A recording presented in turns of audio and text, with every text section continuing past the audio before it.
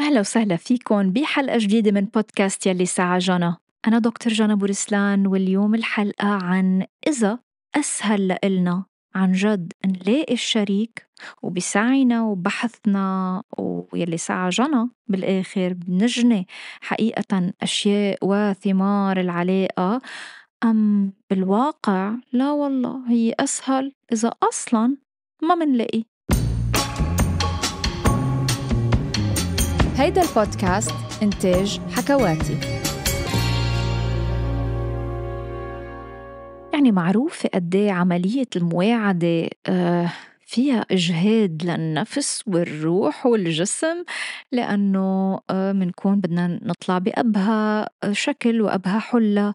بدنا فعلا نشتغل كتير على حالنا لحتى مش بس نلاقي الشريك نضل ونعمل على نعمل على إنجاح العلاقة.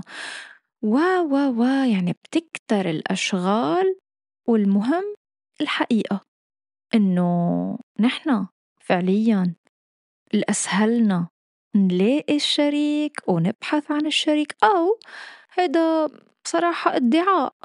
يعني منفكر هيك بوعينا بالوعي تبعنا نقول إيه ويلا وعم نبحث وعم نشوف وأم ديتينج وما بعرف شو. بس بالواقع إنه الأسهل يمكن يكون ببساطة عكس اللي عم نفتش عليه.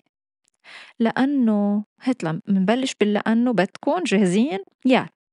قديه احتمال إنه واحد عن جد عن جد يلاقي شريك يسميه هيدا رفيق روحي السول ميت تبعي؟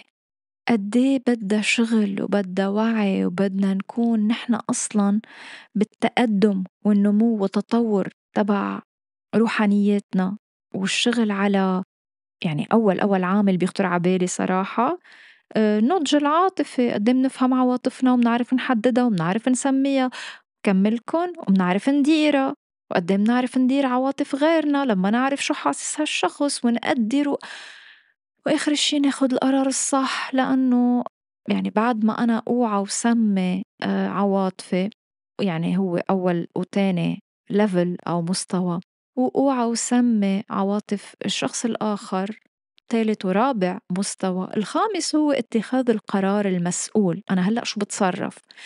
فيا قد بدها شغل وقد بدها وعي وانتباه وهذا شغل دويم. يعني هذا هذا مشروع يومي. وإلى الأبد مش إنه يوم واثنين وخلص أنا ضمنت العلاقة ولا حطيتها بجيبتي الصغيرة ما في هيك. وسبب تاني إنه قديه بندخل لنتعرف يعني بندخل على تعارف أو علاقات تنقول بداياتها ماشي الحال سليمة مشرفة بس بعدين يا ننصدم كأنه في ألم كأنه هالأمل إنه نلاقي ونبحث بنهايته كل مرة عم يطلع كأنه فيها بين ألم وأمل يعني معلش فينا نرتب شوي الأحرف يكونوا محلهم يعملن إسقاط كل وحدة بمحلها خلينا نضل مأملين. بس غالبا وأحيان كتيرة الواقع غير هيك. منطلع منتعرف ومنتعرف ومنتعرف ويلا bye bye bye مع السلامة. ليه؟ هيدا ما ناسبني وهيدا هيك وهيدا هيك. فكل ما نتعرف على ذواتنا إيه نعم؟ ما حدا بينكر إنه بصير القرار informed decision يعني بصير عن وعي أكتر بصير عارفة ليش إذا قلت إيه نعم يس لهالشخص وليش عم بقول لأ؟ مش إنه يلا اجى عمر هلأ بدي أتزوج وبدي ارتبط فيلا فلان منيح المعايير واحد اثنين ثلاثة حسب كتالوج المجتمع أو حسب أمي وبيي شو بدهم أو أنا بعدني ما اختبرت بنكون أحيان غير ناضجين أو ناضجين بس مش بكافة المراحل أو المناحي يلي بشخصيتنا فمنختار وبعدين منندم منقول ما طلع مناسب أو ما مش متل ما أنا بدي. وسبب آخر وتالت ليش معقول حقيقة نكون من جوا أسهلنا نضل لحالنا من إنه نلاقي شريك بعد البحث؟ هو قد إيه هي ممكن تكون هيك gratifying بتعطيني شعور حلو لذيذ بالامتنان. أكتر إنه أبحث وفتش وضل عندي أمل من إنه يا هلأ بده هو يجلس فيي هالأشياء وأنا إذا إذا علاقة متينة وعلاقة مزبوطة آآ بدها تعمل scratching وتبلّش عن جد تبيّن الطبقات والطبقات ما تحت العلاقة السطحية اللي هي عمل نيّة، إنه بس يلّا أخدتك وأخدتني كرمال نحن شو بعرفني يمكن في ناس بيتجوّزوا كرمال المصاري أو كرمال آآ يطلع لُن بيت أو يطلع لُن ولد أو، أو، أو، بس إذا واحد بده يشتغل عليها بطريقة روحانية يعني ينمّي ويغذّي تطوّره. بالمنحى الروحاني يصير إنسان أفضل، يصير عنده نضج عاطفي أعلى، وفعلًا بذكرن ورا بعض لأنه ما معقول مثلًا عم تتخيلوا شي ما بدي أقول شيخ أو كاهن أو، أو شخص بوذي، أي شخص متديّن عم تتخيلوه ما عنده نضج عاطفي؟ عم تتخيلوه عم ينفعل فجأة أو عم ياخد الأشيا شخصية أو سألوه سؤال قام رد بنبرة فيها نوع من العدائية أو ال الهجومية أو ما منخلص أو الاندفاعية، فنعم هنّي مربوطين ببعض وبطريقة وثيقة قويّة، فالأسهل أحيان إنّو خيي بلا ما طوّرك وتطوّرني هلّأ خلّيني هيكي بي لغة الحب الحالمة وخلّيني شوف إذا رح ألتقى بي هيدا الشريك، ف yes أحيان عنجد أسهل إنّو واحد يكون لحالو وما عم سوّئلا عم بحكي عنّا كطرح مش أكتر، أنا لا مع ولا ضد. هلّأ انتو خبروني بعدين بالتّعليقات، بس فعلاً في ناس يمكن عم بطرح إشكاليّة تانية أو سبب من هالأسباب اللي عم بعرضا اليوم أمامكُن. من مبدأ العرض والاستعراض فقط وليس إنّو أنا ميّالة لأتبنّى فكر معيّن هون أو هون. لا مع ولا ضد، ياما شايفة ناس single أوكي ومش مبسوطين. وبلا شايفة ناس مش مرتبطين وكتير سعيدين أكتر من الثُّنائي والمزوّجين، فما عنّا قاعدة يعني مش دايماً المزوّج هو وحيد وزوجه تاركه أو بالعكس في ناس كتير راضين وفي ناس لأ، بس الأهم إنّو اليوم الفكرة هيّ شوي فيها هيكي خلّينا نقول فيها مش غرابة بس بتعرفوا ال irony يلّي موقف بتفكّر حالك إنت عم تسعى وبدّك تبحث لعلاقة وهيك وآخر الشّي بيطلع الأسهل هو لا تبحث ولا تلاقي ولا شي تضلّك single. يمكن هيك الأسهل. ما ما مش بالضروري الأفضل. مش كل شي سهل هو الأحسن ها، فا وحدة من الأسباب ليش هيك أسهل إذا واحد ضل لحالو يمكن إنّو طيب ما اختبر الحُب فإنّو بالتالي بي خفف عا حالو احتمال وجع القلب صح؟ ف يعني هي هيك بس نطرحا كفكرة متل ما هيّ. ومنرجع نقول إنّو كم مرّة هيدا الشّخص بدّو يجرّب ويحاول؟ طب أوّل تجربة ما كانت جيدة والتّانية والرّابعة والسادسة والعاشرة. آخر شي بيئلك خلص يا خيي كل وقت بدي لاقي بهالنّاس الغُربا وأقعد أتعرّف وعرّفوني ودلّوني وخدوني وجيبوني خلص ما بدّي هالشّغلة. فا بصير يتجه نحو الأسهل. بي ئولولا باليوغا the path of least resistance يعني الطريق يلّي هيّ فيا مقاومة نفسيّة وعاطفيّة أقل، أمّا لمّا كل شي بدّي أقعد حاربه وبدّي واجه نفسي وبدّي أتصارح مع حالي وليش عم بتصرّف هيك لا شك إنّو أحيان دماغنا قصد تيحمينا بي غيّب عنّا أشياء بدّو يعترف فيا طب منّو جاهز؟ حابب يقعد بال denial أو حالة الإنكار لأنّو أسهل. إيه؟ فا لهيك بئلكن ما عم بئول الأسهل والأفضل أو ال الأكتر نمواً وتطوّراً لأ بس إنّو حرفيّاً إيه في كتير أسباب ليش واحد ما يفتّش على شريك هو ال- الطريق ال- الأهين ولكتير ناس.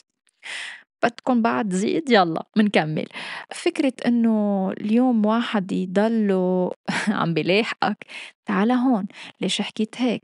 أو يي ليش هيك هون فشلت بي كزا وكزا متل كأنّو بي محل فتحلك كتالوج وقاعد عم بي عالجلك أمورك. يعني ما تئولولي إنّو ال partner أو الشريك ما منمرُق بي أحيان بيكون متل الحسيب والرّقيب بتعرفون لهيدول فا بي محلٍ ما بي بيّنلنا والعلاقة بتبيّنلنا أشياء بعد لازم نحن نشتغل عليا و to brush up his skill ونشتغل هون ونشتغل هون، أمّا ال بيبئوا أشخاص مش بي علاقة لحالُن صراحة بئلّك بتعريف ولشو كل هالشّغل. إنه مش كل شخص انولد على الكرة الأرضية وعلى سطحها بده أو حابب أو عنده حاجة آه، إنه يشتغل على حاله. في ناس بيعرفوا إنه عندهم صدمات وبيعرفوا عندهم تراما وبدهم يخبوها ويتركوها بالخزانة ما بدهم يطلعوا فيها. طب ما ما هي نوع من ممارسة الحرية كمان. ما فيني أجبر كل شيء بلا تعال هون أنت لازم تدخل بعلاقة أو العلاقة بتطورك. يا عمي منه جاهز لا بده يتطور ولا بده يتحرر ولا شيء منيح؟ فمنصير ندعي إنه يي كل اللي قابلتن منن جذابين إف يا ربي مضللين. أو صراحة بضجروا يعني تجرت. أو يا الله س... إنه فليت من الحفلة وتركتها قبل ما تعرفت على مجموعة من الناس لأنه أصلا الأغلبية تأخروا تيوصلوا أو عجبتني هالصبية بس والله. ما رجعت عدت الاتصال فيها خلص راحت يلا. أو إنه أنا حب وانحب يا الله شو بتكون شغلة حلوة؟ بس يمكن اخترنا أشخاص كتير بيسافروا أو كتير عندهم انشغالات غير أولويات غير شو صار؟ ومنصير نعد هالأسباب اللي بتخلّينا نشعر بالخذلان.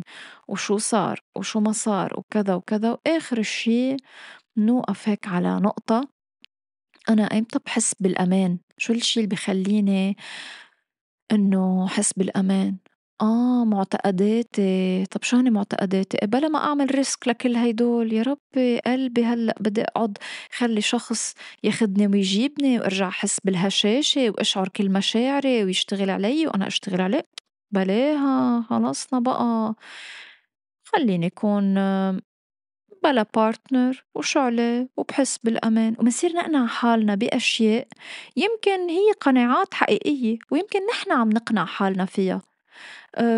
في بعض الأشخاص إيه بيكونوا أشد من الآخرين وبيعترفوا بالأشياء متل ما هي وبيقولوا هات أشوف أنا أيمتى بصير جاهز كون بعلاقة مع غيري؟ هل عامل كل اللي علي كل اللي باستطاعتي وبقدر فيه وعلي. يعني في فضل أنا مفضل على حالي بهالشغل ومفضل على العلاقة أو لا رايح عندي كتير إشكاليات ما عالجتا وجروحات من الماضي بعدها نمطيا بسلوكي بتبين بطريقة متكررة وأنا نافضة إيدي وعم قول يي وما خصني وشو بدي أعمل؟ وأنا هيك وأنا طبعي هيك. ف ما عم نحكم عم نحكي بصيغة حقيقة وصفية. مش عم نحكم ونقول صيغة حكمية ويا بالشوم ويي وما بيسوى. بس عم نقول بالخاتمة إنه في كتير أشخاص فعلا عم يبحثوا عن الحب وفعلا بفكروا بوعيهم إنه هن بدهم شريك بس هن الأسهل لهم يضلون لحالهم بتمنى تكون عجبتكم هالحلقة المميزة آه، من بودكاست يلي ساعة جنى وأنا بانتظار كل تعليقاتكم. إذا عندكم أسئلة أو أي شيء حابين توجهوا لي بقلكم إنه ال social media handles مثل التيك توك الإنستغرام والفيسبوك كلهم موجودين بصندوق وصف الحلقة. ما تنسوا تعملوا متابعة follow subscribe على كل هالقنوات وبشوفكم الأسبوع الجاي بحلقة جديدة. باي